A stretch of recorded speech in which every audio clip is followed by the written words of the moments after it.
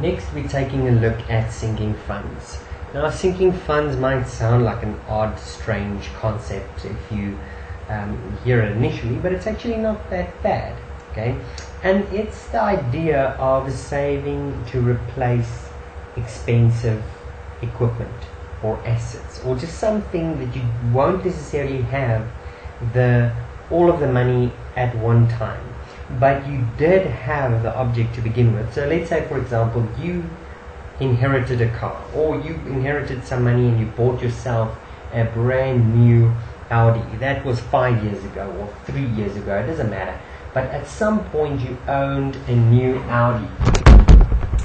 And then you decided that in three years' time, so here it's me, but then you decided that in three years' time, you want to, three years later, you want to buy the newest model on the market. And to do so, you are going to sell. You're going to buy the newest model, but to do that, you're going to sell your old car. Now, what is going to be the price of the new model in three years' time? Will I be able to sell my old car and the same price I get for the old car buy the new car with? If you are so lucky, you are indeed very lucky. No, that will not happen. If you sell the old car, even though it's new now, in three years' time, you're not going to get enough to buy the new car for two reasons. One, is that this car's value will appreciate. In other words, due to inflation, which at this stage is about 6.7% in South Africa, due to inflation, you will be paying more for that car than if you buy it new today. And due to depreciation,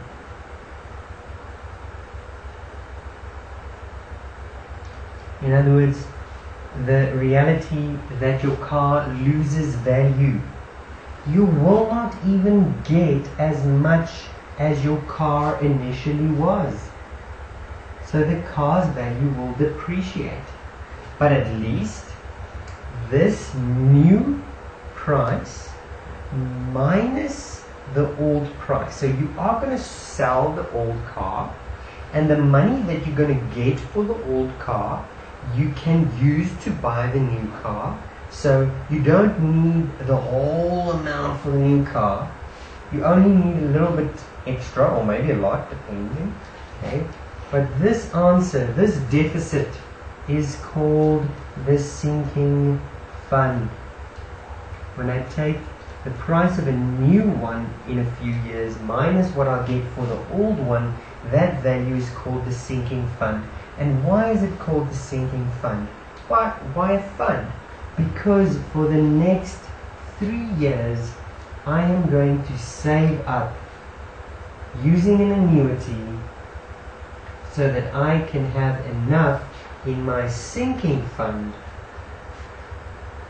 so that when I sell the old car and I add up my sinking fund, I will have enough to buy the new car. And I think this whole business will be best illustrated with an example. Let's say this car is currently worth 140,000 Rand. And the appreciation rate is 6,7%. And the depreciation rate is 19%. And I can save at let's let's make it a nice saving 8% per annum compounded monthly. And my question is if I want to buy a new car in three years time replace my current car with 140,000 in three years time and I save monthly starting in one month's time I save a monthly amount how much will I need to save every month so that I can have enough in my sinking fund so that together with my sale of the old car, I can buy the new car. Well, let's see. How much will the new car cost? How much will the new cost? So this is the method I work out there. First, the value of the new car. Then, how much I will get for my old car. And that will tell me how much must be the future value in my annuity. In other words, the sinking fund. So the new car is appreciating, therefore I use the appreciation formula. In other words, compound growth. Every year, it started at 140 as the initial value. Every year it grows with 6,7% which is divided by 100 to the power of 4. Three years that is happening. So what do we get?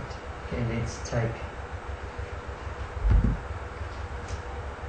140, 3 times in brackets 1 plus 6.7 divided by 100 close my bracket. With an exponent of 3 it will be worth 170,067 and 41 6 170 60 7 and 49 67 comma 49 what will I get if I sell my old car? Now remember my old car's value is decreasing. It's depreciating so I'm using my depreciation formula. I didn't say it so we, we're allowed to assume it cars will depreciate at reducing balance method but most of the times they will tell us that. So the initial value of my car was 140,000 after one year it will depreciate at 19% not one year at three years. 19% let's see how much will I get back for my car?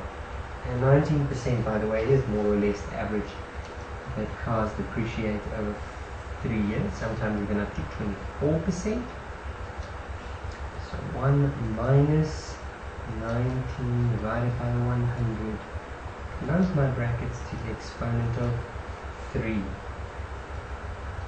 and I can get back 74,000 401 rand and 74 cents. 74,401 rand and 14 74. 74 cents. In other words, this is what I'll need. This is what I'll get from my sale. So in the bank, after three years, I'll have to have saved up 170,067, comma 48 minus 74, 401.74. Oh, that's 49. Apologies. 49. I'm using my calculator. Let's calculate it. Okay, 1700 seven six point four nine minus one nope seven four four zero one point seven four. I'll need in my bank account ninety five thousand six hundred and sixty five and seventy five cents. So I'll need ninety five thousand six hundred and 65 comma 75 cents that's how much money I must have in my bank account in other words if I were to save monthly earning 8% interest per month uh, per year annum compounded monthly my future value so this will be the future value of my annuity how many payments will I have made in three years 12 payments per year means I'll have made 36 payments. So my future value after 36 payments must be 95,665,75.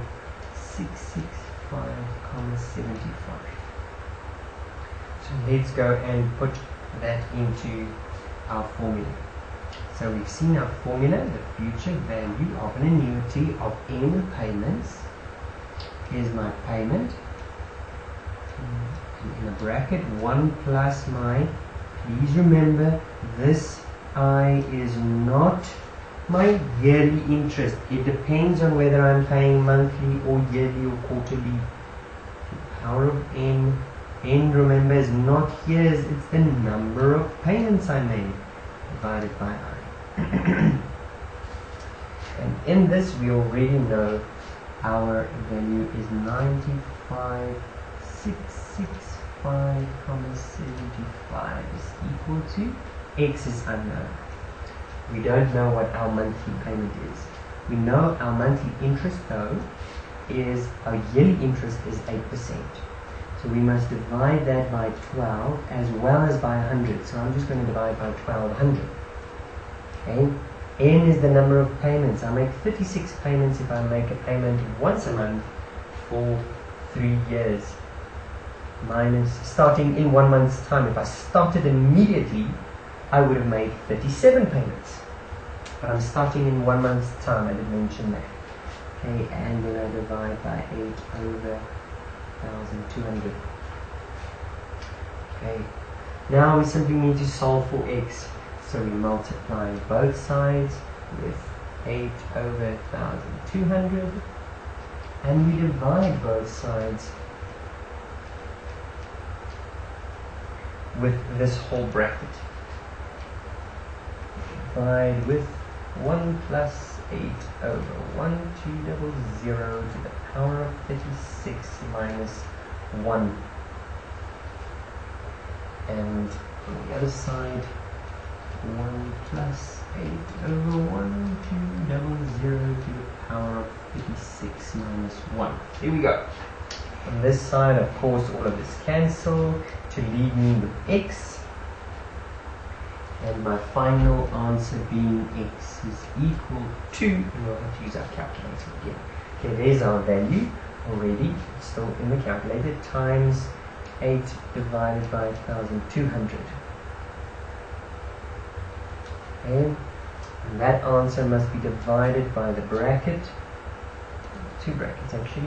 1 plus 8 over 1200 close the bracket.